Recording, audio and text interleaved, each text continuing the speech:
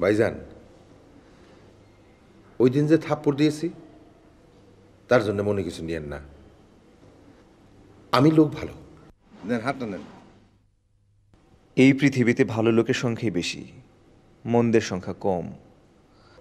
ভাইজান এই যে না খেয়ে থাকতেছেন এতে কি মনে হয়? লাভ হইব? অবশ্যই লাভ হবে। বাড়ির সামনে প্রেমের জন্য আমরণ অনশন। পৃথিবীর কোনো মেয়ে এটা সহজভাবে নিতে পারবে না। তাদের নরম হৃদয় দ্রবীভূত হবেই। ভাইজান আপনি যদি সাকসেস হন তাইলে আমিও অনশন করব। কেন? আপনারও কি একই রকম সমস্যা? যে না আমার সুদিয়া যাওয়ানের সমস্যা। ভাইজান যদি আপনি সাকসেস হন, তাইলে আমি অনুসরণ করবই।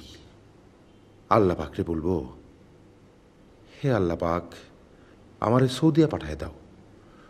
যদ্দিনা পাঠাইবা, ততদিন না খেয়ে থাকব।